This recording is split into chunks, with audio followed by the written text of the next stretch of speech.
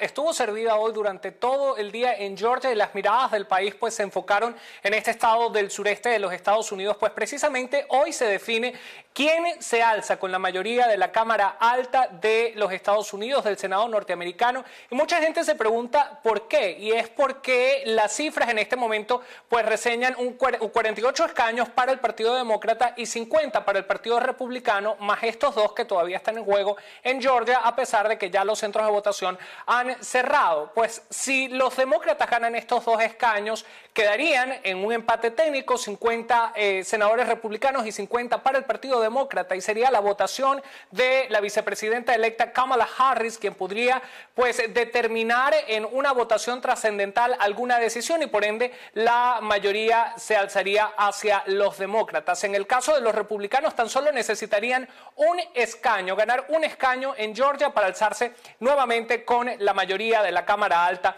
de los Estados Unidos. Como lo decía, ya algunos centros de votación han cerrado. Vamos a revisar de inmediato las proyecciones de Associated Press. Son dos escaños que se están disputando el día de hoy. Uno en elección general que correspondía a 2020 y que fue a segunda vuelta porque ninguno de los dos candidatos llegó al 50% más uno, que es lo que exige la ley electoral de Georgia, y la otra que es una elección especial tras eh, pues la renuncia de Johnny y Saxon en el año 2019. Vamos a empezar con la elección general. La ven en pantalla la proyección de Associated Press a esta hora con el 22% de las proyecciones eh, de Associated Press. El Partido Demócrata con el abanderado John Ossoff se alza con el 54% de los votos frente a David Perdue, actualmente en ejercicio, republicano, que pues se muestra con el 45.95% de los votos. Si revisamos de inmediato la elección especial,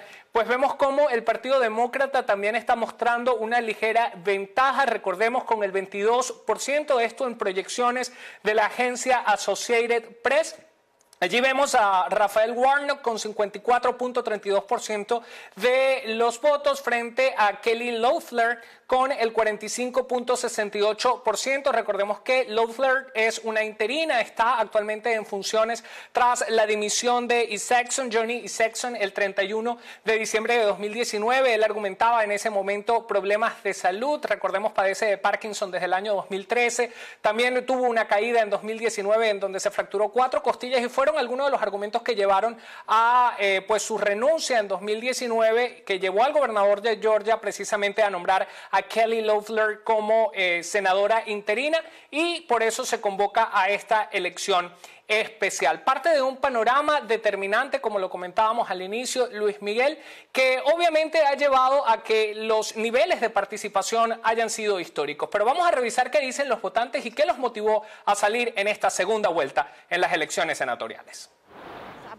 Creo que siempre debes votar. En el último minuto elegí por quién votaría y voté de todos modos, aunque estuve tentada a no votar en absoluto debido a lo desconcertada que estaba de cómo las elecciones, eh, cómo esta situación fue manejada.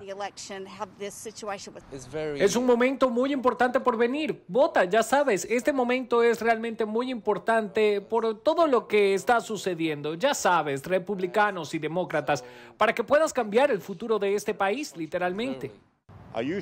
Por lo general voto a los republicanos en todos los ámbitos, pero esta vez fui demócrata. Pensé o pienso que son más capaces, ¿de acuerdo? Soy republicana. Ellos, mis candidatos, también son republicanos, así que me quedo con, con ellos, con quien voto. Luis Miguel, lo comentabas al inicio que tanto el presidente en funciones Donald Trump como el presidente electo Joe Biden pues sacaron su artillería pesada a inicios de esta semana para hacer lo que serían los últimos actos de campaña de esta contienda política. Ambos visitaron Georgia. Puntualmente, el eh, presidente en funciones, Donald Trump, visitó la ciudad de Dalton en el condado de Whitfield, que es un bastión republicano y que históricamente pues, ha movido las masas republicanas, las más conservadoras dentro del estado de Georgia. Allí sacó uno de los elementos que pues, le permitió ganar estados como Florida y es precisamente el tema del socialismo. Si no van y votan, los socialistas, los marxistas estarán a cargo de nuestro país. Si no luchan por salvar su país con todo lo que tienen, que es todo lo que tienen, no tendrán otro país a donde ir. Por su parte, el presidente electo Joe Biden en su visita a Georgia ratificó la importancia de salir a participar en esta segunda vuelta. Es así de simple. El poder está literalmente en sus manos. Lo cierto es que tanto la primera vuelta como la segunda vuelta pues se predicen altos niveles de participación, así lo han informado las autoridades electorales del estado de Georgia. Los condados han recibido 1.018.382 votos ausentes por correo y hemos aceptado 2.074.994 votos anticipados, que llega a un total de 3.093.376 votos, que ya están listos. Lo único que podría decirles es que significa que hoy estamos aquí con una participación récord en una segunda vuelta.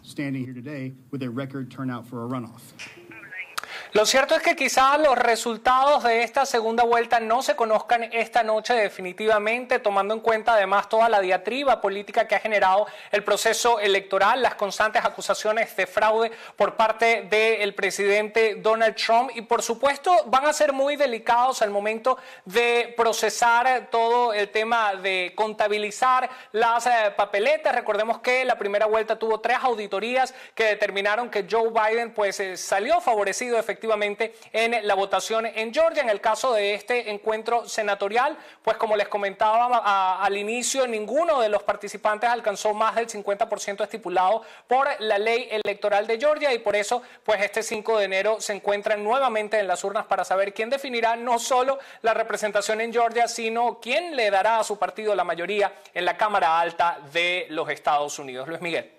Manuel, me llama la atención y solamente un comentario que lo que ocurrió en las elecciones en todos los Estados Unidos se está repitiendo en Georgia y es que el principal centro poblado, la ciudad de Atlanta, está manchada de azul y todos sus condados favorecen al Partido Demócrata y toda la periferia, incluidas las ciudades de Savannah, de Augusta y de Columbus, son republicanos, pero hay que sacar cuentas si el centro poblado va a ser suficiente para el resto de toda esa periferia.